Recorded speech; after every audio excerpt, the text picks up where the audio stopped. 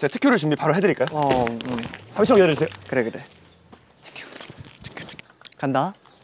5, 6, 7 당신을 향한 나의 사랑은 무조건 무조건이야 당신 여러분 주세요 여러분 여러분이 어떠세요 당신을 향한 나의 사랑 아, 특급 사랑이야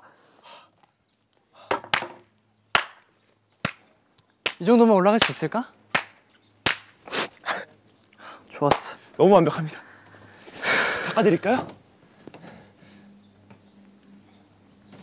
어 역시 이게 확실히 무대 조명이 있으니까 커크가 있으니까 훨씬 더 풍부해 보이고 완벽해 보이는 느낌이 드는 것 같아요. 보시면